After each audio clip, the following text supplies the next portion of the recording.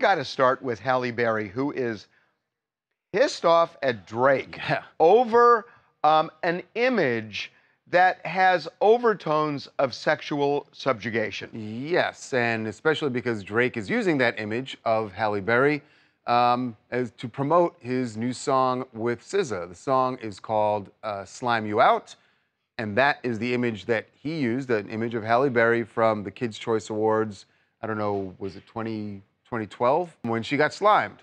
And, so and that was innocent enough when everybody saw when he posted when Right. the song came out and he posted that image um, like oh i guess halle berry and drake are cool and he let she's like yeah fine use my photo They're not cool. Or They're- she's not cool with him. yeah she is not cool about this at all uh, but says drake did reach out so this all sort of came out on social media people asked halle berry what did you think about drake using it she said didn't get my permission that's not cool i thought better of him Hence my post today. When people you admire disappoint you, you have to be the bigger person and move on. And then someone else chimes in and said that he doesn't compare to you. She said, he did have his people call my people, and I said no.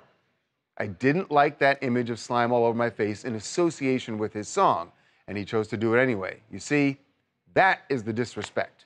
And when Not she cool. and when she says that she didn't like the image in connection with the song, the the song, the term they use Slime you out. is about sexually dominating somebody, subjugating them, and she just didn't want it.